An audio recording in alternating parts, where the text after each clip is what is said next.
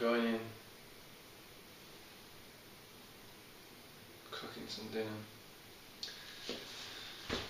Everyone's uh, left the house.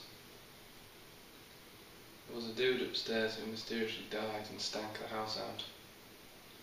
I thought he'd killed himself, but apparently he had pneumonia and he didn't take his medication. And so he rather uh, I think there was a certain self-destructiveness. He There's a cupboard here with all the stuff in. There's a cupboard with all this stuff in. Look, I don't know what he was up to, but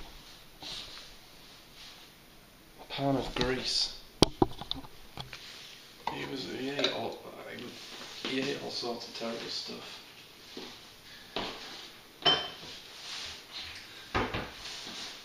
So I guess so. Um, yeah. I spoke to him on uh, not uh, it was ages ago, but on on a Sunday, and then it smelled terrible on Thursday, on the following Thursday, and then the police knocked, and uh, I put two and two together and guessed he'd killed himself, but I don't know what, what happened to him. But yeah, but now the house has departed, everyone's left. So I've got a week of peace before uh, going back to mother's for Christmas.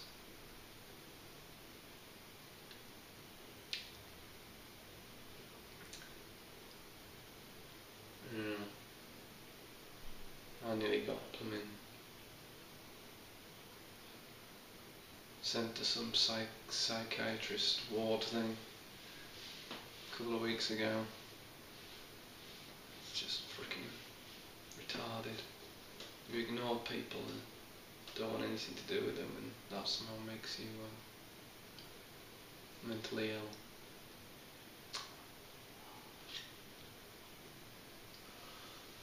Um.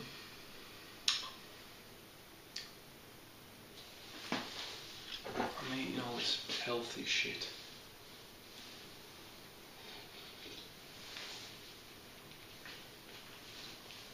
Watching all this healthy shit on YouTube. All these food nuts, like people who eat only raw food and vegans, and, and they all are. They're all super healthy, but it's like a religion. Like they're just all itching to fall apart, but they surround themselves with fellow vegans, and they're all they all hold themselves upright. And